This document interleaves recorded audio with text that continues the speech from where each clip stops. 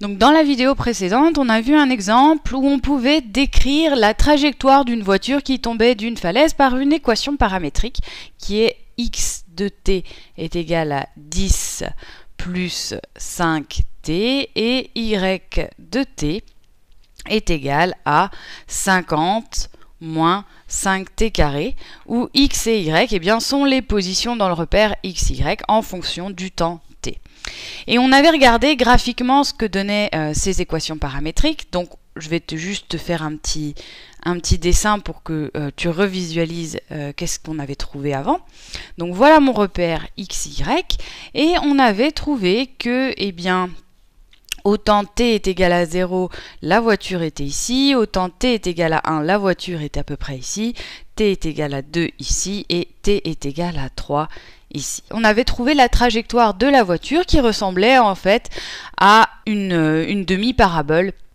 Et donc ce qu'on avait fait pour trouver cette équation-là, c'est qu'on avait dit que cet ensemble d'équations décrivait la trajectoire de la voiture pour, eh bien, t supérieur euh, à 0, t supérieur ou égal à 0, et t inférieur à égal à euh, une valeur qui était quand la voiture touchait le sol ici. Et donc pour trouver la borne supérieure de t ici, ce qu'on avait fait, c'est donc de résoudre l'équation y de t est égal à 0. Donc y, je te rappelle, c'est la hauteur ici euh, de la voiture. Et donc eh bien ça s'arrête effectivement quand la voiture touche le sol. Donc y de t est égal à 0, qu'est-ce que c'est? C'est 50 moins 5 t carré est égal à 0, c'est-à-dire que 50 est égal à 5t carré, et donc 10 est égal à t carré, ce qui nous donne que eh bien, t euh, est égal à plus ou moins racine de 10 ici.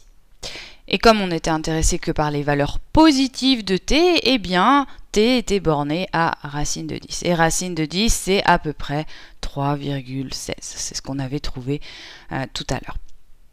Donc en fait, cet ensemble d'équations décrit la trajectoire de la voiture quand t est compris entre 0 et racine de 10.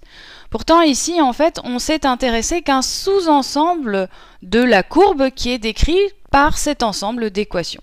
C'est-à-dire qu'on pourrait aussi continuer à décrire cette courbe-là pour des valeurs négatives de t. Donc par exemple, si je prends, eh bien, euh, t est égal à moins 1, donc je peux calculer aussi une valeur pour x et y. Donc qu'est-ce que ça me donnerait? Ça me donnerait que t est égal à moins 1, donc j'aurais 10 moins 5 fois 1, donc 10 moins 5 ici, donc 5. Et pour y, j'aurais 50 moins 5 fois moins 1 au carré, c'est-à-dire 50 euh, moins 5, 45. Donc j'aurai ici quelque chose de totalement symétrique ici. Et je retrouverai la même chose en fait pour t est égal à moins 2 et moins 3 ici. Donc en fait la courbe qui est décrite par cet ensemble d'équations paramétriques, ce serait une parabole que je dessine ici en jaune. Voilà, à peu près. Quelque chose comme ça. Donc cette parabole-là est symétrique. Hein. Euh, là, ça ne se rend pas très bien graphiquement, mais c'est euh, totalement symétrique. Donc dans notre cas, dans notre exemple de la voiture, on avait borné en fait euh, notre paramètre t pour n'exprimer que eh bien, cette partie-là que je mets en rouge de la courbe, qui est la chute de la falaise. Avant la voiture, eh bien, on sait qu'elle roulait à plat, sur la falaise ici. Donc on aurait eu un autre euh, ensemble d'équations paramétriques pour décrire sa trajectoire. Et donc ce qu'on voit ici, c'est que quand on ne borne pas les valeurs de on peut regarder à quoi ressemble cette équation. Maintenant, ce qu'on va faire, c'est qu'on va essayer d'exprimer cet ensemble d'équations paramétriques comme une seule équation où y est fonction de x. Donc, la manière dont on va faire ça, c'est que dans, ces équations-là, eh on va exprimer t en fonction de l'un des paramètres, x ou y, et on va remplacer t dans l'autre expression. Donc ici, on voit que c'est plus facile d'exprimer t en fonction de x que t en fonction de y. Donc je vais exprimer t en fonction de x. Donc t en fonction de x, je vais prendre une autre couleur. Qu'est-ce que c'est? Bon, ben là, j'ai donc x est égal à 10 plus 5t. Donc, x moins 10 est égal à 5t. Et donc, t est égal à x moins 10 sur 5. Donc maintenant que j'ai cette expression-là pour t, eh bien je vais remplacer t dans l'équation de y de t pour avoir y en fonction de x. Donc j'aurai y est égal à 50 moins 5t carré, donc moins 5 x sur 5, on va simplifier un peu, moins 10 sur 5, moins 2 au carré. Donc je vais simplifier un petit peu cette écriture. Donc j'ai y est égal à 50 moins 5 facteur de x au carré sur 25, moins 4 cinquièmes de x plus 4. J'ai juste développé ici l'identité remarquable a moins b au carré. Donc si je continue à développer cette équation-là, j'aurai donc y est égal à 50 moins x carré sur 5 plus, parce qu'ici je fais moins 5 fois moins 4 cinquièmes, 4x, moins 20.